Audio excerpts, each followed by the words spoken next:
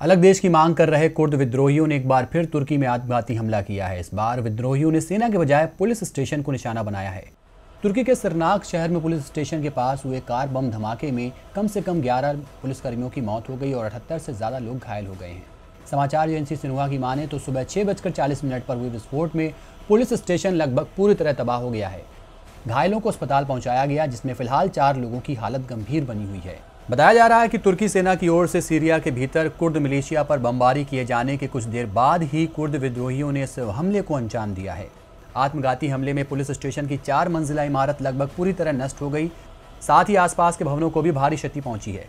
बताया जा रहा है कि विस्फोट पुलिस स्टेशन से करीब 50 मीटर दूर नियंत्रण पोस्ट में हुआ था। हमले के पीछे पीकेके के यानी कुर्दिश वर्कर्स पार्टी को जिम्मेदार ठहराया गया है। आपको बता दें कि कुर्द विद्रोही पिछले तीन दशक से तुर्की में अपनी स्वायत्तता के लिए संघर्ष कर रहे हैं।